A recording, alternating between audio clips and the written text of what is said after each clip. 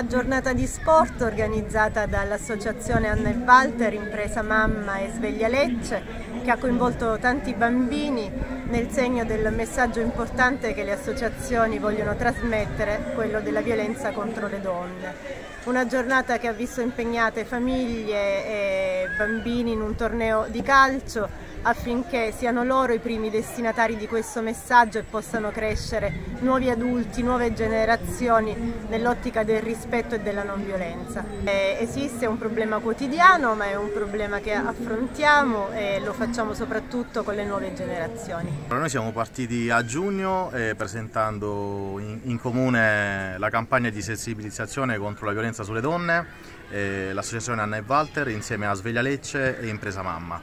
e abbiamo creato un corto, un corto dove mandiamo un messaggio positivo alle donne. E cerchiamo di sensibilizzare questa tematica abbastanza importante e, e oggi siamo qui al Fair Play eh, dove abbiamo cercato di creare un connubio insieme allo sport, insieme ai bambini, per mandare un messaggio ancora più importante perché pensiamo che attraverso lo sport, attraverso i bambini ci possa essere una grande crescita anche dei, dei grandi, soprattutto dei, dei genitori. E, e, quindi questa mattina si vede uno spettacolo incredibile dove ci sono bambini e genitori al seguito e, e, si stanno giocando queste partite in onore di questo grande trofeo messo in palio che è denominato a testa alta proprio come è la campagna di sensibilizzazione creata a giugno. E abbiamo iniziato con il cortometraggio dove ha partecipato anche l'assessore eh, alle politiche sociali Silvia Miglietta eh, con la nostra testimonial Alina Spirito. E dopodiché abbiamo chiesto anche alle strutture, alle case famiglia di Lecce dove ci sono tanti ragazzi che hanno subito abusi e violenze di fare dei lavori, dei lavori in un laboratorio interno eh, che noi abbiamo messo in vendita e con lo stesso ricavo eh, le stesse strutture eh, porteranno all'interno dei laboratori nuovi per la crescita dei ragazzi. Eh, quando ci hanno proposto abbiamo sposato subito questo progetto anche perché la violenza contro le donne non deve esistere proprio, dobbiamo proteggerli e aiutarle in tutti i modi. E abbiamo accettato subito a partecipare anche perché la realtà nostra è una realtà nuova dove cerchiamo di aiutare tutti i bambini e contro la violenza delle donne stiamo cercando di iniziare anche col calcio femminile. Abbiamo fatto oggi, di preciso abbiamo fatto due mesi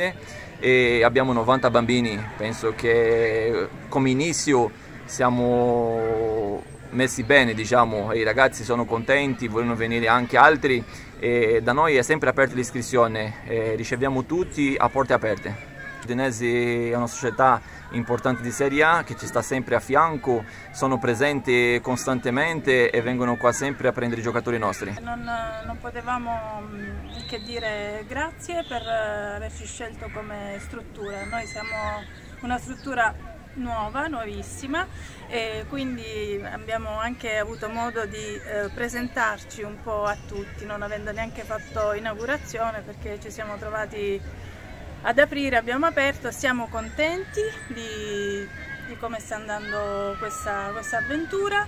e abbiamo tanti progetti. C'è un progetto in atto ma non vi svelo del tutto le grandi novità. Eh, ci siamo quasi, eh, le donne faranno parte della nuova scuola calcio di Lima e da Silva e abbiamo un progetto in quanto anche loro si affacceranno sul eh, mondo del calcio femminile anche perché ormai adesso abbiamo diciamo, grandi richieste, queste ragazzine ormai vogliono anche loro dimostrare quello che sono eh, pure sul calcio. Sì, sì, devo dire siamo davvero contenti di quello che abbiamo realizzato dietro le quinte fino ad ora e ora cominciamo a vedere insomma, i primi risultati di tutto il lavoro che c'è dietro, che è durato veramente tanti tanti anni.